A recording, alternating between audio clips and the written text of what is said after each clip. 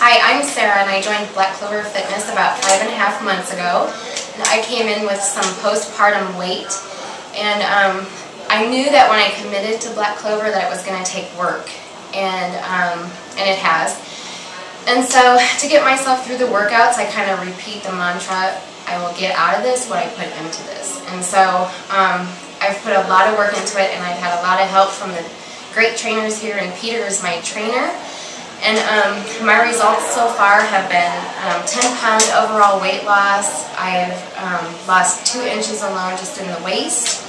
Um, I've lost 8 inches overall and um, over 5% body fat loss. And my endurance has increased tremendously. Um, I don't I don't feel winded after I use the treadmill anymore and I have a lot of energy just throughout the day now that I never used to have just because of my ex new exercise program. And so um, I am so excited about Black Clover. Um, I feel like a new person and the trainers here are phenomenal.